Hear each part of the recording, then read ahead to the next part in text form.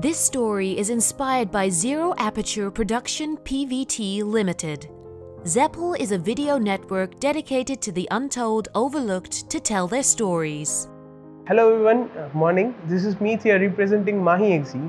So uh, basically what we do is we manufacture charpai.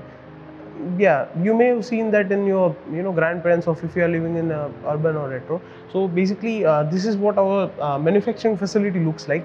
Uh, we have quite a few different types of charpai over here and we have 14 types of different charpai.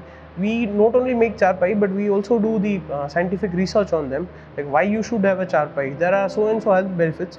Um, let's say you can get a good sleep compared to your regular bed. You uh, the blood circulation is also improves. Weaving materials is also a disinfectant and uh, there are quite other benefits as well. So uh, some of them were health benefits. Now if we uh, take a look at the economical benefits. Uh, the charpais are really cheap in compared to your uh, modern um, beds also uh, there are you can uh, move with them easily anywhere. Let's say if you have a bed and you want to keep it in your one room to another then you have to uh, first you have to do the disassembly and then you have to uh, reassemble them in your other room.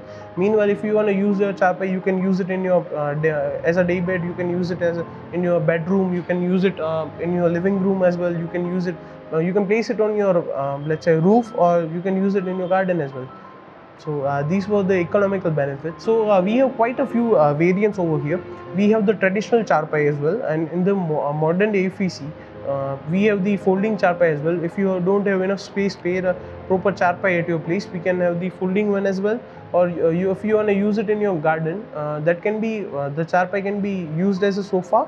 It will be reclined as a sofa, or if you want to sleep over there, it can be used as a bed as well. So Currently, we are at the manufacturing facility where you can see all the uh, types of charpai. So the manufacturing facility on the uh, Jamnagar highway near Paddhari.